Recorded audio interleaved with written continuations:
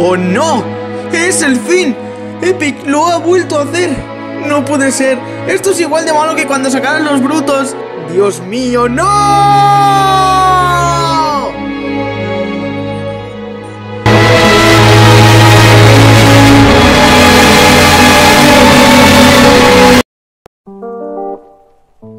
Vale, sí. Sé que, esta, sé que esta introducción puede sonar medio inspirada o a otro u otros youtubers, pero bueno, quería probar un nuevo estilo para este vídeo. Y creo que lo notarán más al ver que de fondo voy a poner música lo hip hop de esta que está guay. Pero bueno. en fin. Igual algunos no lo sabéis, pero Fortnite es un juego que desde que empezó en el 2020 ha acabado viciándome mucho. Y por lo tanto, aparte de mejorar en mi manera de jugar, también me entero con frecuencia sobre las próximas actualizaciones que Epic sacará en un futuro. Todo esto normalmente gracias a filtradores de Twitter que investigan los archivos de Fortnite y esas cosas. Cuando llegó el capítulo 2 se perdieron pero a la vez se mejoraron bastantes cosas, como los gráficos, el gameplay, las animaciones, etc.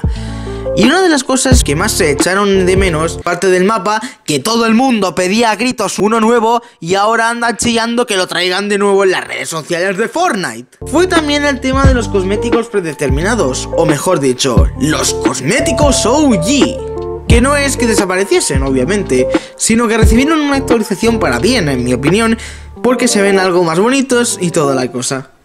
Pero a la larga la gente en parte echaría de menos esos cosméticos. Y yo medio me incluyo que yo jugaba a partir, que yo empecé a jugar a partir de la, temporada 6 más o menos. Era un manco, pero eso da igual. Aunque en mi opinión en sí no eché demasiado de menos esas, esas skins, ya que yo tenía algunas del pase 8. Pero como dije antes, había gente que sí. Y como todos sabemos que la nostalgia vende, a los de Épico Juegos se les ocurrió la genial idea de volver a traer estos esos cosméticos, pero sin reemplazar los nuevos, como es obvio. Cuando me enteré de que se filtró que dichos cosméticos volverían, a mí me gustó mucho la idea y tenía ganas de adquirirlos, o mejor dicho, de recogerlos. Porque es eso mismo lo que nos lleva al tema principal de este vídeo. Más o menos hace unos días fue cuando llegó la tienda en sí que traería estas skins. Aunque antes daban el pico de el antiguo pico de forma gratuita y si tenías PS4 lo podías obtener un día antes, más o menos. Yo esperaba sinceramente que las skins las recibieran todos los jugadores o que fuesen gratis como el Hot Marad, pero desgraciadamente no fue así y créanme que en verdad me sorprendió muchísimo que Epic sacara las skins y el ala, y la ala delta de pago, de verdad. Y más encima, 800 pavos cada skin. Y lo mejor aquí muchos pensaron que a lo mejor le agregaron, no sé, algo especial como un estilo muy chulo que cambie bastante la apariencia.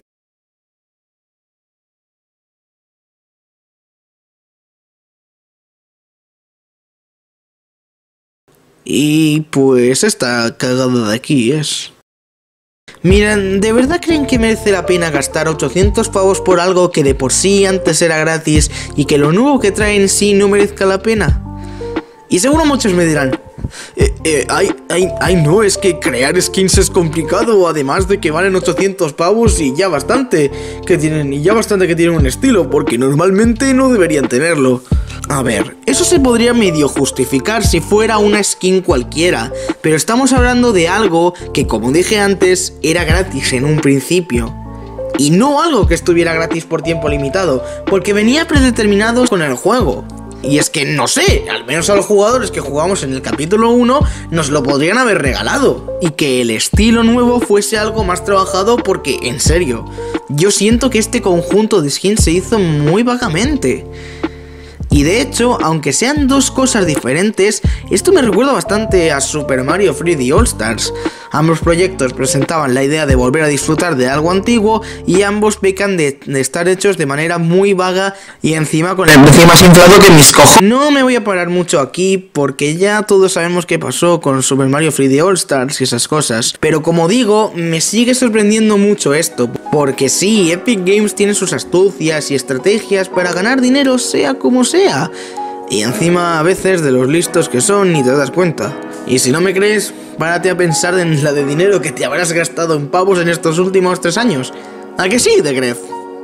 Y pues yo pienso que si Epic hizo esto es por dos cosas. La primera y más obvia, porque va a vender sí o sí. Y la segunda es que lo hicieron además para causar polémica y que se hablase del juego, cosa que es, vamos, publicidad prácticamente gratuita. Y no sería muy disparatado pensar que es la segunda opción porque recordemos lo que pasaba en anteriores temporadas, por ejemplo con los brutos. Era un ítem muy desbalanceado que la mayoría de veces te daba una gran ventaja, y muchas veces lo único que podían hacer algunos era correr o intentar sacarte de bruto con las bogies. Esto causó mucho revuelo y la gente pedía a gritos que los quitaran de inmediato. Es que vamos, ni que los nerfearan, que los voltearan sin más. Y la verdad que entiendo el descontento de la comunidad. Por mucho que a mí me guste usarlos, y siendo totalmente honesto, creo que Epic debería nerfearlos o baultearlos cuanto antes. Como mínimo quitarlos del modo arena.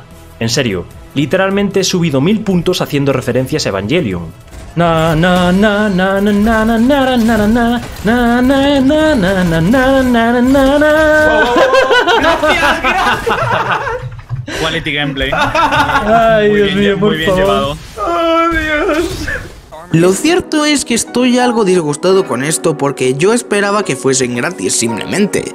Y aunque si bien es cierto que Epic Games es una empresa y necesita generar ingresos y esas cosas, creo que lo que han hecho es de pena, porque vamos, es que es una estafa sin más. Y en esta ocasión no tienen justificación, no justificación alguna, porque si porque si al menos las iban a poner de pago, podrían haberle puesto un estilo mejor para que mereciese más la pena. Pero bueno, al menos me alegra que no muchos estén de acuerdo ni dispuestos a comprar estas skins. Pero es que vamos, es lo más normal del mundo. Aunque si a ti te gustan estas skins y las echabas de menos, pues no hay en sí mucho problema si las compras. Al final es tu dinero o tus pavos y tú eliges qué hacer con ellos. Ten en cuenta que si las compras apoyarás este tipo de prácticas y es probable que Epic vuelva a hacer esta sucia estrategia. Pero bueno, no se puede ser perfecto. Y para los que van a esto como una excusa para hatear a Fortnite o decir que está, muerto, que está muerto o se está muriendo, os diré una cosa. Buscaos otro hobby y dejad de odiar un juego o algo en general solo porque está de moda. Créanme, yo, yo tenía antes ese hobby y me di cuenta de lo aburrido y poco ético que es. En fin, creo que no hay mucho que más que decir por mi parte. Espero que os haya gustado el vídeo. Si es así, no olviden regalarme un like y una suscripción para apoyarme. Eso me animaría muchísimo a seguir haciendo más contenido. Y si quieren ver más contenido sobre Fortnite, o quizás algún unboxing o alguna cosa similar, solo pídanlo. Y eso sería todo. ¡Hasta pronto, gente!